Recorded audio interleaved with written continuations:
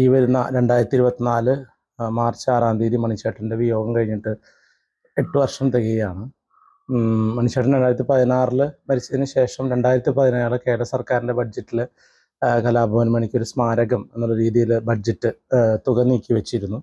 അതിനെ തുടർന്ന് വന്ന ബഡ്ജറ്റിലും ഇതിന്റെ സ്മാരകം പണിയുന്നതിനായിട്ടുള്ള വലിയ തുക നീക്കി വെച്ചിരുന്നു. ചില സ്മാരകം എന്ന് പറഞ്ഞാൽ വെറുതെ ഒരു പ്രതിമ വയ്ക്കുക എന്നുള്ളതല്ല. നാടൻ പാട്ട് കലാകാരനും മിമിക്രി കലാകാരനുമായിട്ടുള്ള അദ്ദേഹത്തിന്റെ സ്മരണാർത്ഥം.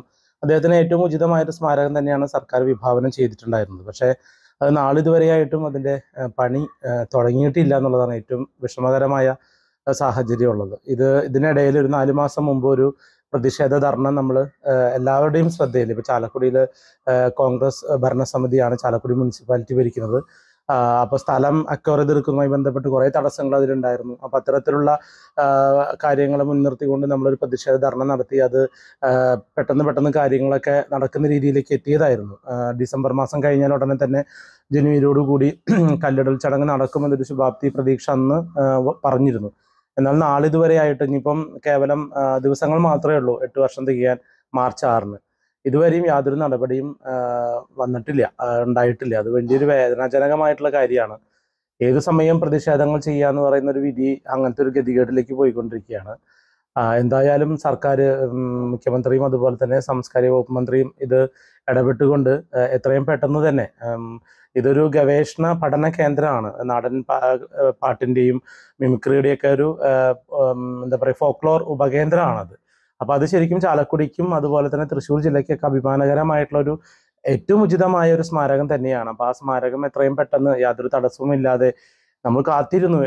കഴിഞ്ഞ ഏഴു വർഷക്കാലം കാത്തിരുന്നു. ഇനി അനന്തമായി നീണ്ടുപോവുകയാണ് ഇപ്പോൾ സർക്കാരിന്റെ ഭരണം ഇനി തീരാൻ നമുക്ക് വർഷങ്ങൾ മാത്രമേ ഉള്ളൂ ബാക്കി നിൽക്കുകയാണ്. കാരണം ചേട്ടന്റെ മരണ മരണത്തിന്റെ സമയം കഴിഞ്ഞിട്ട് അതേ കാലയളവിൽ തന്നെ സർക്കാർ ഒരേ സർക്കാർ തന്നെയാണ് ഭരിക്കുന്നത്. പ്രത്യേകിച്ച് ഞങ്ങളുടെ ഇടതുപക്ഷ സഹയാത്രികരാണ്. അപ്പോൾ അതുകൊണ്ട് തന്നെ മണിച്ചേട്ടന്റെ പേരിൽ ആ ഒരു സ്മാരകം വരാൻ സർക്കാർ മുൻകൈ എടുത്തിരുന്നു. പക്ഷെ എന്തുകൊണ്ടോ അറിയില്ല. വളരെ വൈകുന്നത് എന്താണ് കാരണം യാതൊരു കാരണവശാലും അറിയുന്നില്ല. അത് എത്രയും പെട്ടെന്ന് അതിന്റെ നടപടികൾ മുന്നോട്ട് കൊണ്ടുപോയി അത് സ്മാരകം സ്മാരകം യാഥാർത്ഥ്യമാക്കണമെന്നാണ് എനിക്ക് ഈ അവസരത്തിൽ പറയാനുള്ളത്. ഏഴു വർഷക്കാലം ഈ ഒരു സ്മാരകത്തിന്റെ സ്മാരകത്തിനായിട്ട് എല്ലാവരും കാത്തിരിക്കുന്ന ഒരു ഇതാണ്. നാലു മാസം മുമ്പ് ഇതുപോലെ ഒരു സമരം നടത്തി. അതിന് പ്രകാരം ചെറുതായി ഒരു മൂവ്മെന്റ് ഉണ്ടായി കാര്യങ്ങൾക്ക്. അപ്പൊ വീണ്ടും നമുക്കൊരു പ്രതീക്ഷ തരാത്ത രീതിയിലാണ്. ബഡ്ജറ്റ് പോലും വന്നത്. അതെ അതെ. അപ്പൊ നമുക്ക് ഇനിയൊരു സമരത്തിലേക്ക് അങ്ങനത്തെ എന്തെങ്കിലും കാര്യത്തിലേക്ക് കിടക്കുമോ? ഞാൻ നേരത്തെ പറഞ്ഞതാണ് പ്രതിഷേധം എന്ന് പറയുന്നത് ഇപ്പൊ പല കാര്യങ്ങൾക്കും നമുക്ക് പ്രതിഷേധിക്കേണ്ടതായി വന്നു. കാരണം നമ്മൾക്കൊരു പൊട്ടിത്തെറിയുടെ അവസരം എത്തുമ്പോഴാണ് നമ്മൾ പ്രതിഷേധിക്കുന്നത്. പല നമുക്ക് അനുകൂലമായ പല കാര്യങ്ങൾ നിഷേധിക്കപ്പെടുമ്പോഴാണ് നമ്മൾ പ്രതിഷേധത്തിന്റെ ശബ്ദം ഉയർത്തുന്നത്. കലാഭവൻ മണിയുടെ വേർപാട് കേരള ജനതയ്ക്ക് എന്തുമാത്രം വിഷമം ഉണ്ടാക്കിയെന്ന് ഞാൻ ഞാൻ പറയാതെ തന്നെ എല്ലാവർക്കും അറിയാവുന്ന ഒരു കാര്യമാണ്. അപ്പൊ അതുകൊണ്ട് അത്തരം ഇന്നും ആ ഒരു വികാരം ജനങ്ങളുടെ ഇടയിൽ നിൽക്കുന്നുണ്ട്. അപ്പോൾ അത് തീർച്ചയായിട്ടും ഒരുപാട് കാര്യം ചെയ്ത് ജനങ്ങൾ ജനങ്ങളുടെ ഇഷ്ടം അതുപോലെ ഞങ്ങൾ ഞങ്ങൾ ഇടതുപക്ഷ സഹയാത്രികരായി ഞങ്ങൾ ഞങ്ങൾക്കൊപ്പം നിൽക്കുന്ന ഒരു സർക്കാരൊക്കെ നിൽക്കുമ്പോൾ ഇതിങ്ങനെ അവഗണിക്കപ്പെട്ടു പോകുന്നത് വലിയ വേദനാജനകമായ കാര്യമാണ്. ഇപ്പം നമ്മൾ ഒരു ഇടക്കാല പ്രതിഷേധാരണ കഴിഞ്ഞതിന് ശേഷം പെട്ടെന്ന് പെട്ടെന്ന് കാര്യങ്ങൾ മുന്നോട്ട് പോയി. അത് ഊരാളുങ്കൽ സൊസൈറ്റിനെ ഏൽപ്പിക്കുകയും കാര്യങ്ങൾ പെട്ടെന്ന് നടക്കുമെന്ന് പ്രതീക്ഷയാണ്. എന്നാൽ ഡിസംബർ ജനുവരി മാസങ്ങളിൽ കല്ലുകൾ ചടങ്ങ് ഉണ്ടാവും എന്ന് പറഞ്ഞിട്ട് ഇതുവരെയും നടന്നിട്ടില്ല. ഇനിയിപ്പോൾ ദിവസങ്ങൾ മാത്രമേ ഉള്ളൂ. ഇപ്പോൾ ഫെബ്രുവരി മാർച്ച് ആറിന് എട്ടാം ചരമവാർഷികമാണ്. അപ്പോൾ അനന്തമായി നീണ്ടു പോവുകയാണ്. ചെറിയ ഒരു അകൽച്ചയല്ല. കാരണം മരിച്ച ആ നാൾ മുതൽക്ക് എട്ട് വർഷം വരെ കാത്തിരിക്കുക ഒരു ചെറിയ കല്ലിടൽ ചടങ്ങ് പോലും നടത്താൻ പറ്റില്ല എന്ന് പറഞ്ഞത് ഏറെ വേദനാജനകമായിട്ടുള്ള കാര്യമാണ്. നാലു മാസം മുമ്പ് ഈ മണിച്ചേരനെ സ്നേഹിക്കുന്നവരും ഈ മിമിക്രി കലാകാരന്മാരും എല്ലാവരും കൂടി ഒരു പ്രതിഷേധം നഗരസഭയുടെ മുമ്പിൽ നടത്തിയിരുന്നു.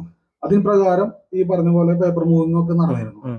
പക്ഷെ ഈ അനന്തമായി ഈ സർക്കാർ മണിച്ചേരനെ അവഗണിക്കുന്നതായിട്ട് തോന്നിയിട്ടുണ്ട്. അവഗണന എന്ന് പറയുന്നത് അറിയില്ല. കാരണം ഇപ്പോൾ എന്താ പറയുക നമ്മൾക്കിപ്പോൾ ഇതിന്റെ ഒരു പശ്ചാത്തലത്തിൽ നമുക്ക് അങ്ങനെയല്ല മനസ്സിലാക്കാൻ പറ്റുക. കാരണം എന്തുകൊണ്ട് നീണ്ടു പോകുന്നു എന്നുള്ളതാണ് ചോദ്യം.